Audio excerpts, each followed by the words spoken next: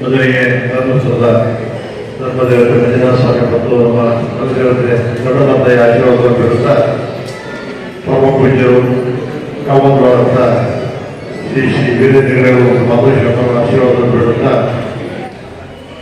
ಕಳೆದ ಏಳು ದಿವಸದಿಂದ ಎಂಟು ದಿವಸಗಳಿಗೆ ಹಲವು ಎಂಟು ದಿವಸ ರಾತ್ರಿ ಏಳು. ಬಹಳ ಶಿಸ್ತನ್ನು ಕಲ್ತಿದ್ದೀನಿ ಅಂತ ಹೇಳ್ತಿದ್ದೀನಿ ಶಿಸ್ತು ಕಲ್ತವರು ಕಲ್ತವರು ಏನು ಈ ಶಿಸ್ತು ಕಲ್ತಿರ್ತೀರಿ ಅದನ್ನು ಮುಂದುವರಿಸ್ಕೊಂಡು ಹೋದ್ರೆ ಜೀವನದಲ್ಲಿ ಬೇಡ್ಬಿಡ್ತೀರಿ ಯಾಕಂದ್ರೆ ಈ ಶಿಸ್ತ ಇದೆಲ್ಲ ಹೇಳ್ಬಿಟ್ಟಿದ್ದಾರೆ ನಿಮಗೆ. ಹೇಳಿ, ಮಾತಾಡಿ ನಾನು ಮಾತಾಡ್ತೇನೆ ಮಾತಾಡೋದಿದ್ರೆ ಮಾತಾಡ್ತೇನೆ. ಈ ಶಿಸ್ತಿನೆಲ್ಲ ಹೇಳ್ಕೊಡ್ತಿಲ್ಲ ಸ್ಕೂಲ್ ಓದ್ಬೇಕಾದ್ರೆ ಮಾಸ್ಟರ್ ಹೇಳ್ಕೊಡ್ತಿದ್ರು ನಮಗೆ? ಸ್ಕೂಲ್ ಬಿಟ್ಮೇಲೆ ಯಾವ ಇಲ್ಲ ನಮಗೆ.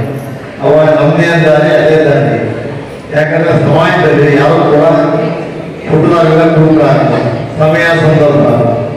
ಅದನ್ನ ಏನೋ ಸಂತೋಷಕ್ಕಾಗ್ಬೋದು ಆಗ್ಬೋದು ಸಣ್ಣ ಪ್ರಮಾಣ ಶುರುವಾದಂಥದ್ದು ನಮ್ಮ ನಮಗೆ ಗೊತ್ತಿದ್ದಂಗೆ ನಮ್ಮ ಆವರಿಸ್ಕೊಂಡಾಗ ಈ ಒಂದು ಪದ್ಯದ ಕೂಪಕ್ಕೆ ಬಿದ್ದಿದ್ದು ನಮ್ಗೆ ಗೊತ್ತಾಗಲ್ಲ. ಅದೇನಾದರೂ ನಮಗೆ ಗೊತ್ತಾಗಿದೆ ಅಂದ್ರೆ ಅಲ್ಲಿ ಕೂತಿರೋ ಅಂದರೆ ಅವ್ರಿಗೆ ಗೊತ್ತಾಗುತ್ತೆ, ಅವರಿಗೆ ನೋವಾಗುತ್ತೆ. ನಾವು ಸಂದರ್ಭದಲ್ಲಿ ಯಾರು ಕೂಡ ನೀವೇನ್ ಮಾಡ್ತಾರೆ ಗೊತ್ತಾಗಲ್ಲ. ಆದರೆ ತಂದೆ ಹೆಂಡತಿಯರಿರ್ಬೋದು ಮಕ್ಕಳಿಗಿರ್ಬೋದು ಆ ಮನಸ್ಸಿನ ನೋವಾಗ್ತದೆ ಯಾತಕ್ಕೆ ಮಾತು ಹೇಳ್ತೀನಿ ಅಂತ ಅಂದ್ರೆ ಎಲ್ಲೋ ಕಡೆ ಮಕ್ಕಳು ನಿಮ್ಮಪ್ಪ ಕೂತ್ಬಿಟ್ಟು ಹೊಡೆದಾಗ್ತಿದ್ದ ನಿಮ್ಮಪ್ಪ ಎಲ್ಲ ಬಿದ್ದಿದ್ದ ಅಂತಂದ್ರೆ ಆ ಮಗುವಿನ ಮನಸ್ಸಿನ ಆನಂದ ಪರಿಣಾಮ ಬಹಳ ಹೆಚ್ಚಿತ್ತು ಅಂತ ಪರಿಣಾಮವನ್ನು ನಿಮ್ಮ ಫ್ಯಾಮಿಲಿ ಕುಟುಂಬ ಎದುರಿಸ್ತಾ ಇರ್ತದೆ. ಇವತ್ತು ಆ ಹೆಣ್ಮಕ್ಳು ನೋಡಿದ್ರೆ ಅವರ ಕಣ್ಣಲ್ಲಿರ್ತಕ್ಕಂಥ ಕಾಂತಿ, ಮಂಜುನಾಥ ಸ್ವಾಮಿಯ ಸಾನ್ನಿಧ್ಯದಲ್ಲಿ ನನ್ನ ಗಂಡ, ನನ್ನ ತಮ್ಮ, ನನ್ನ ಮಗ ಒಳ್ಳೇದಾಗ್ತದೆ ಅನ್ನೋ ಭಾವನೆ ಅವ್ರ ಕಣ್ಣಲ್ಲಿ ಕಾಣ್ತದೆ. ಹೇಳ್ತಾ ಇದ್ರ ಏನವಾ ಮಾತಾಡಿದವರಿಗೆ ಆ?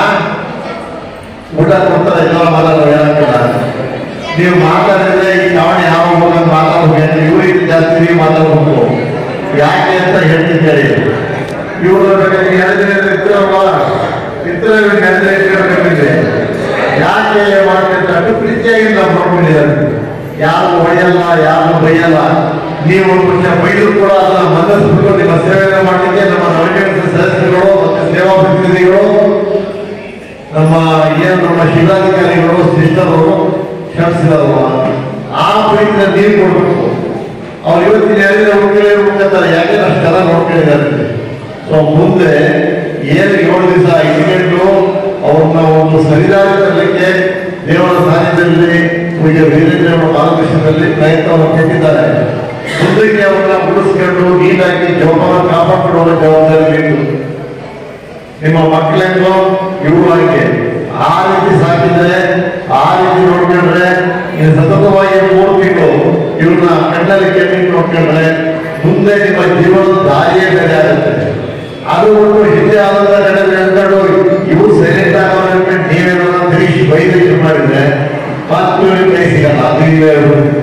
ಹಂಗಾಗಿ ನಿಮ್ಮ ಕೆಲಸ ಏನು ಅವ್ರನ್ನ ಬಹಳ ಪ್ರೀತಿಯಿಂದ ಅವರ ನೀಟಾಗಿ ನೋಡ್ಕೊಂಡು ಅವ್ರನ್ನ ಪಾಲಿಸ್ಕೊಂಡು ಬಂದು ಪೂರ್ವಕ್ಕೆ ಸತತವಾಗಿ ಅವ್ರನ್ನ ಹೇಳಿ ವಾರ ವಾರ ಮೀಟಿಂಗ್ ಮೀಟಿಂಗ್ಗೆ ನೀವು ಸಾಧ್ಯ ಕರ್ಕೊಂಡು ಬಂದು ಮಾಡಿ ಮೂರು ತಿಂಗಳ ವಿವೇಕಗಳ ಆಶೀರ್ವಾದ ಪಡೆದಕ್ಕೆ ದಂಪತಿಗಳು